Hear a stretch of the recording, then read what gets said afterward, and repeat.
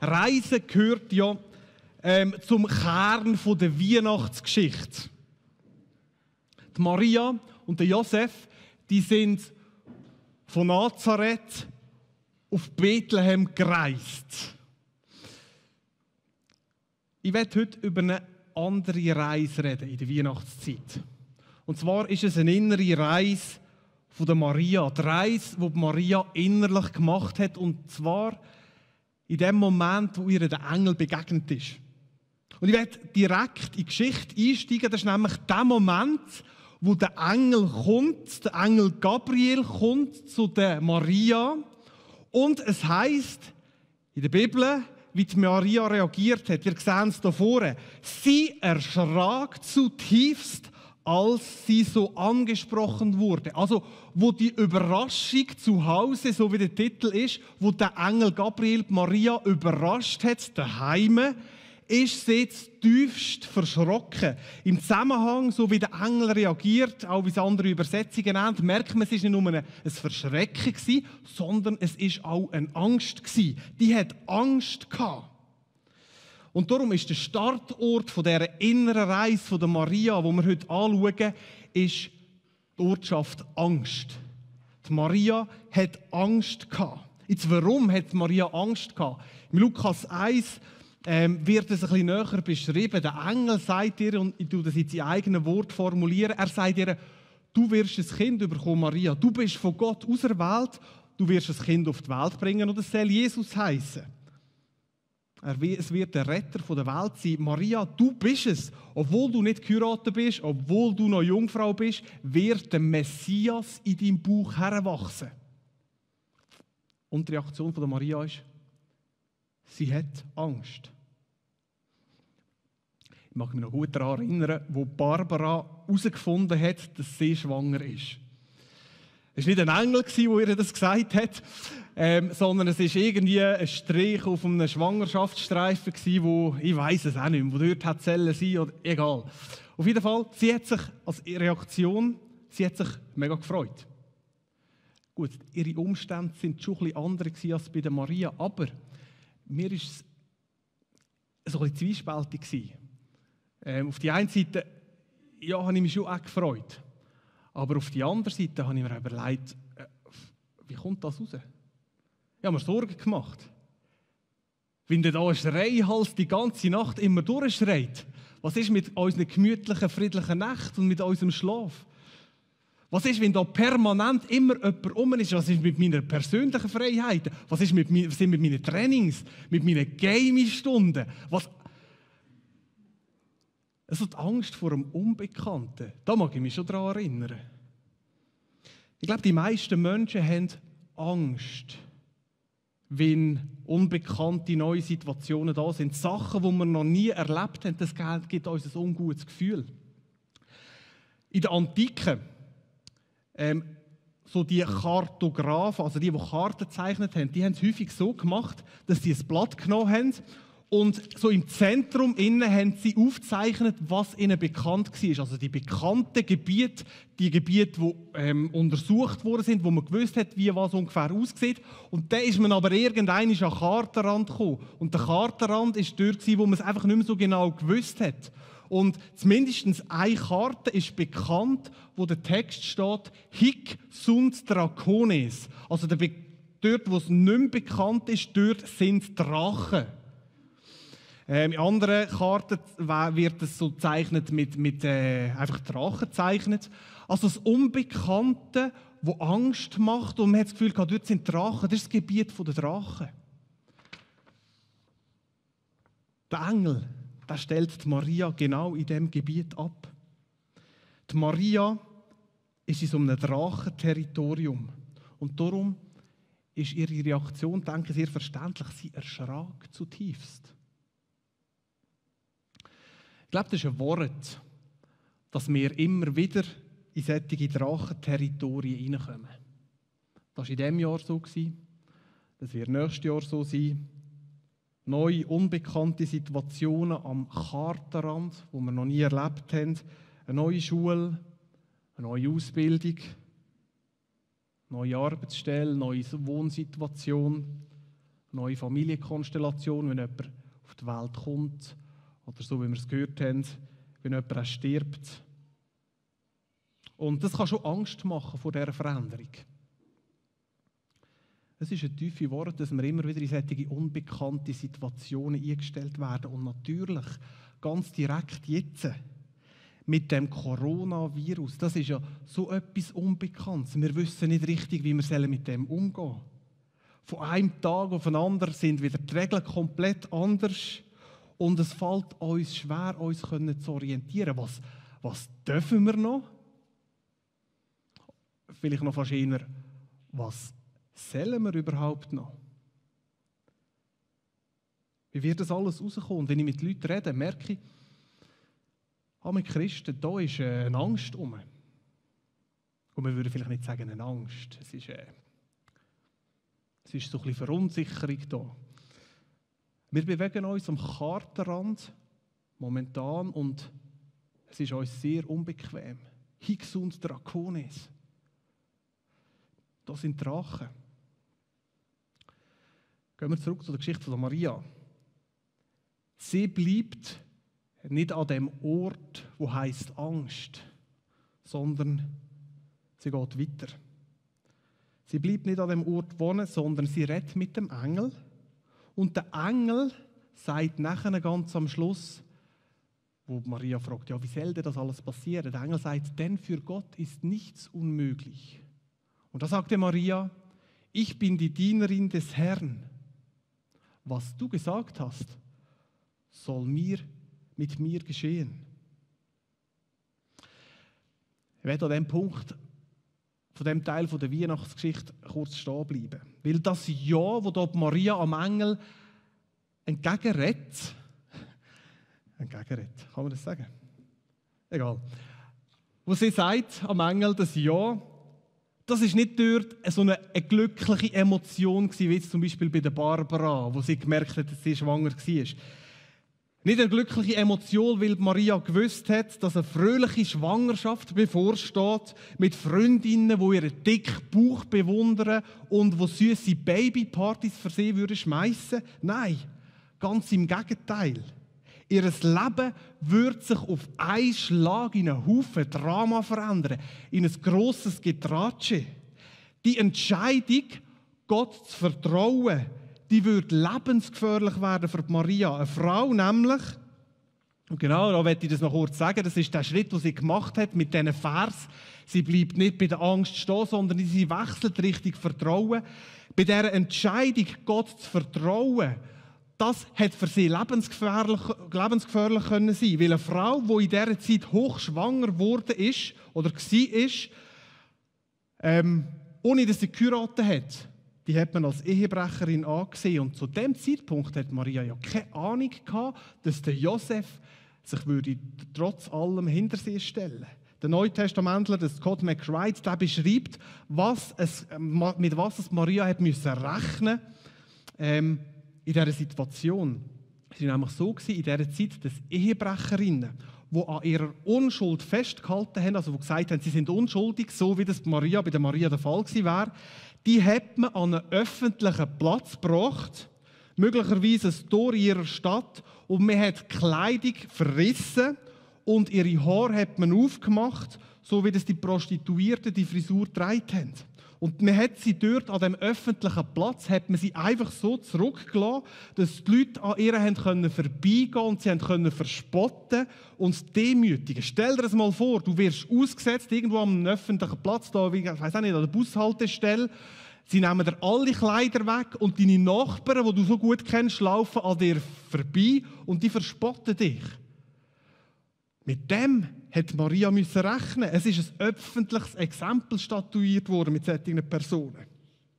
Und ich denke, in dem Zusammenhang, wie wir es uns so vor Augen halten, gewinnt das Wort, wo Maria sagt, ich bin die Dienerin des Herrn. Was du gesagt hast, soll mit mir geschehen. Ich vertraue dir. Es gewinnt ganz eine andere Bedeutung. Der Engel sagt, denn vorher, denn für Gott ist nichts unmöglich.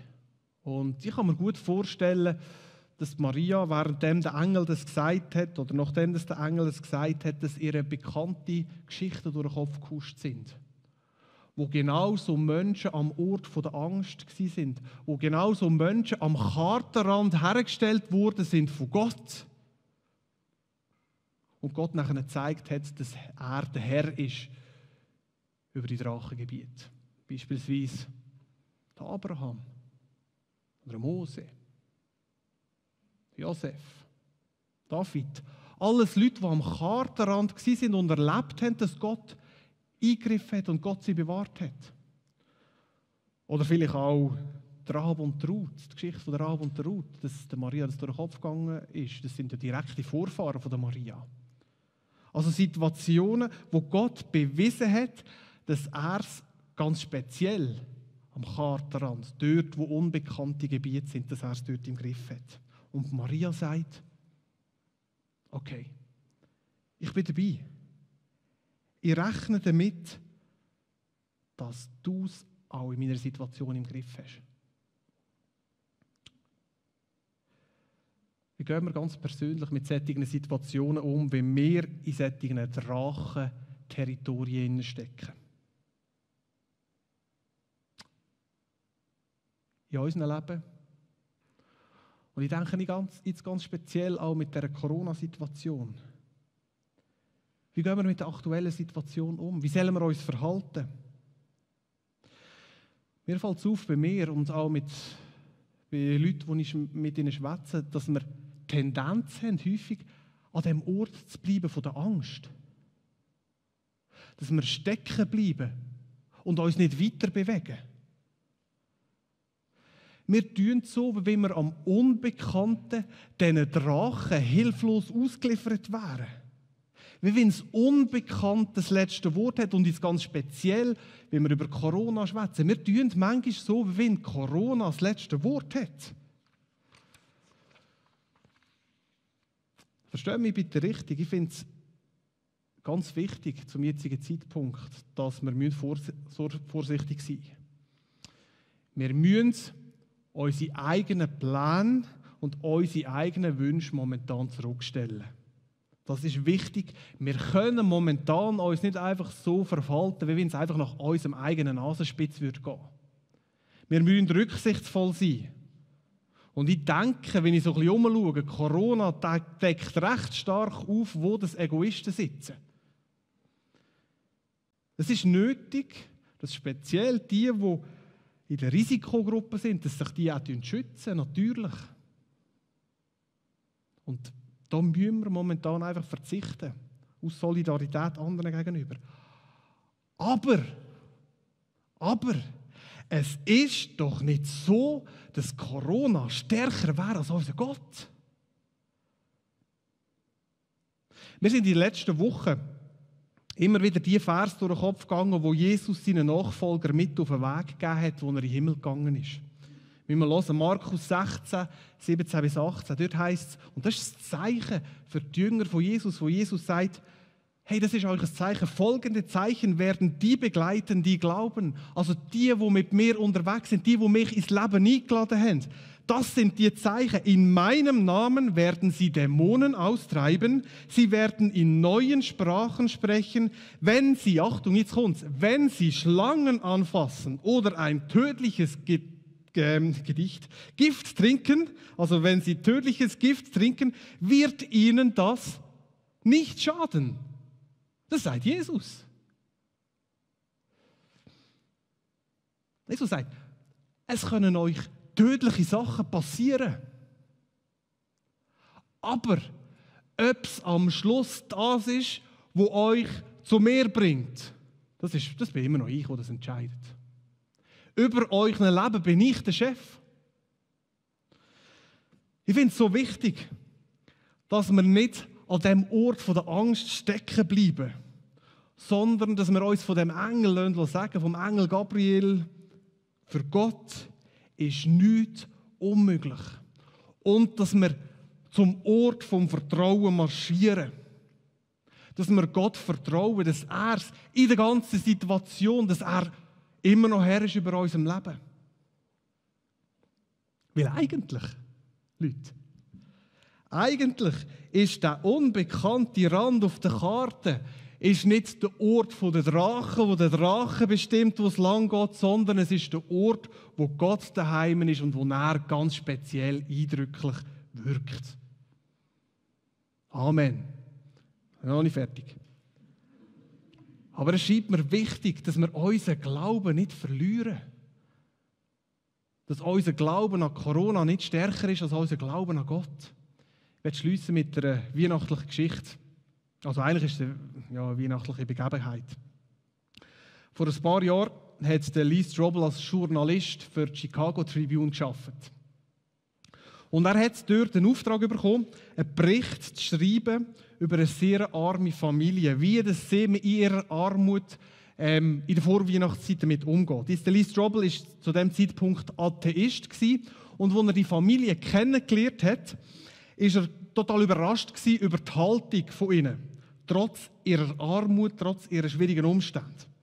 Zu dieser Familie Delgado haben drei Personen gehört. Das ist äh, die 60-jährige Perfekta, und ihre Enkelinnen Lydia und Jenny.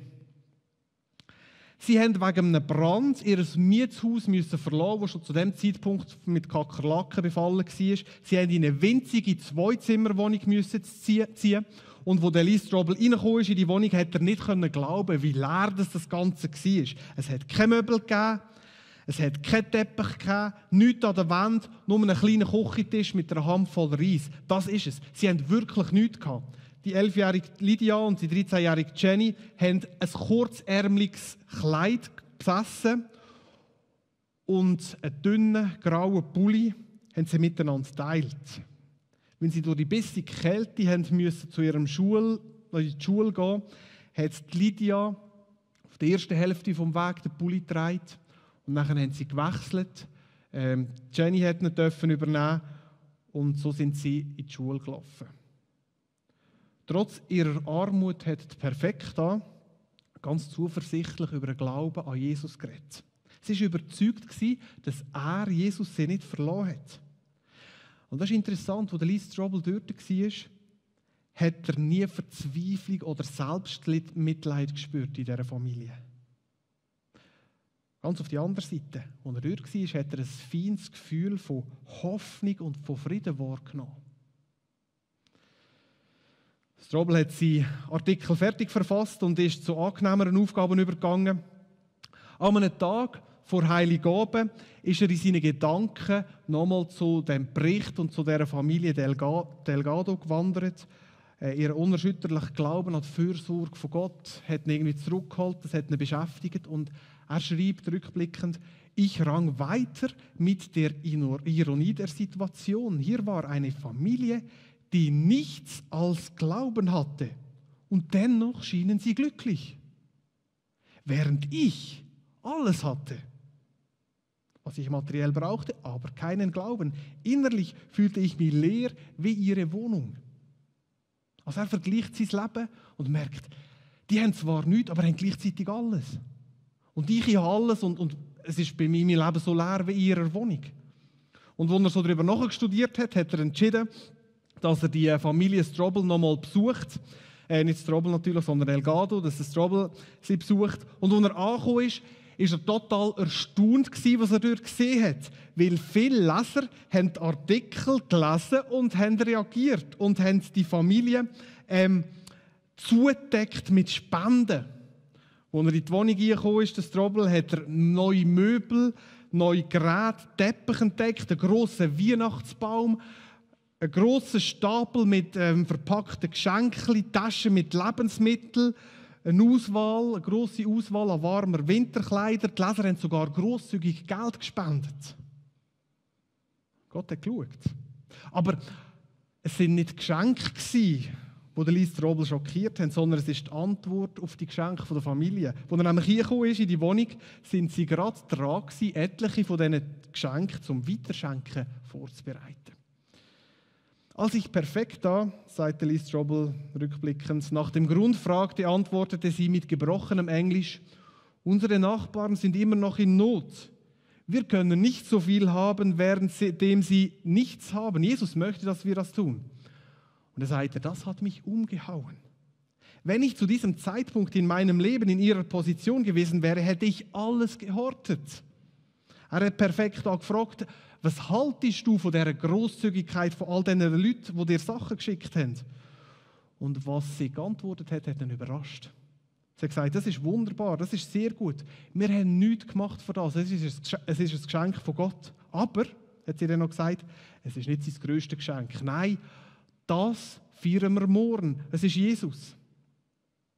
Für sie ist das Geschenk in der Krippe das unverdiente Geschenk, wo alles für sie bedeutet hat. Mehr als die Päckchen, mehr als materielle Besitztümer, mehr als Komfort und mehr als Sicherheit. Und in dem Moment sagt er, in diesem Moment wollte etwas in mir diesem Jesus, diesen Jesus unbedingt kennenlernen. Sie hatten trotz Armut Frieden, während ich trotz allem, was ich besaß, viel Angst hatte. Seid er, ich wohne in der Angst. Sie kannte die Freude des Gro der Großzügigkeit, ich nur die Einsamkeit des Hortens. Sie schauten hoffnungsvoll himmelwärts, während ich mich nur auf mich selbst konzentrierte. Ich sehnte mich nach dem, was sie hatten, oder genauer gesagt nach dem, den sie kannten. Und das war ein wesentlicher Anstoß für Elise Strobel, um den christlichen Glauben auszukundschaften, sich auf die Suche nach dem Jesus zu machen. Er hat ähm, umfangreiche Recherchen unternommen, hat das zusammengefasst in zwei Bücher, brillante Bücher. Und später, ein Zeit später, hat er selber den Ort gewechselt, ganz persönlich, von der Angst über zum Vertrauen. Er ist Christ geworden, hat Jesus in sein Leben eingeladen und hat das erlebt, dass es in seinem Leben all diesen Frieden gegeben hat. Ich finde die Geschichte eindrücklich, weil sie zeigt, es spielt gar keine Rolle, was für Umstände das wir haben, um an diesem Ort hier zu sein. Es spielt gar keine Rolle, ob wir viel haben oder wenig, ob wir alt sind oder jung, wie unser Gesundheitszustand ist. Die Predigt soll wirklich eine Einladung sein für dich. Und zwar so eine Reise zu machen. Die Reise von der Maria, von der Angst, von der Unsicherheit, von der Zweifel her zum Vertrauen. Die Reise innerlich Gott zu sagen, so wie Maria, ich vertraue dir. Es ist eine Einladung zu dem unerschütterlichen Glauben. In allen Unsicherheiten, wo wir drinnen sind, in allen Ängsten, wo wir drinnen sind, sagen, Gott, und ich vertraue dir. Wo du stehst, wo du wohnst momentan, das kannst nur du selber herausfinden. Und ich möchte gerne, dass wir ähm, uns ein paar Sekunden Zeit nehmen, wo du auch selber kannst prüfen bei dir, in deinem Leben. Wo bist du denn momentan daheim? Bist du eher da in der Ortschaft der Angst? Oder ist es der Ort vom Vertrauen? Die Einladung ist, bleib nicht einfach an dem Ort stehen. Und wenn es dir vielleicht ein bisschen, einfach, ein bisschen schwieriger fällt, wie mir, ähm, dass die manchmal im Vertrauen immer wieder so richtig Angst zieht, denke ich, ist es für uns auch ganz wichtig und, und ganz nötig, dass wir immer wieder ganz bewusst auch an den Ort vom Vertrauen herstehen und sagen, Gott, ich vertraue dir. So wie du willst, soll es passieren. Ich lade dich ein, Moment ruhig zu werden, dir Frage stellen, wer regiert in meinem Leben? Ist es die Angst? Angst vor Corona, Angst vor der Zukunft, Angst irgendetwas? Oder ist es Gott?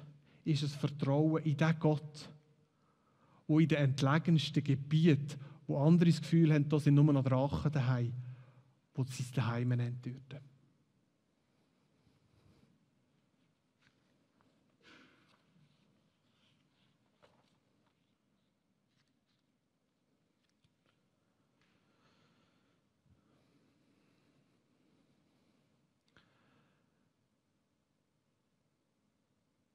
Möchte dir Danke sagen, Jesus, dass wir ähm, können Weihnachten feiern können. Und dass wir uns können ganz speziell in diesen kommenden Tagen daran erinnern, dass du uns nicht einfach in den Drachengebieten allein gelassen hast, sondern Jesus, dass du auf die Welt gekommen bist, um uns zu zeigen, dass wir nicht allein sind, dass du eben gerade bei uns bist. Und ich möchte dich bitten, dass du uns die Augen auch aufmachst, wo wir an dem Ort der Angst wohnen und wo du uns ausrufst, dir zu vertrauen. Blind zu vertrauen, zu rechnen, dass du es im Griff hast. Dass wir nicht naiv sind in allem Innen, überhaupt nicht. Dass wir auch vorsichtig sind in den nächsten Tagen. Dass wir uns zurücknehmen können, unsere eigenen Bedürfnisse zurückzustellen.